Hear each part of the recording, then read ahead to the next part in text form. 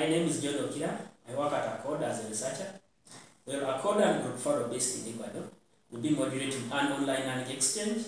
And the first topic for this alliance will be low content basics. Under this, we shall introduce participants on ideas related to low content, which include low content definition, low content metrics, and then we shall also look at the forward and backward linkages.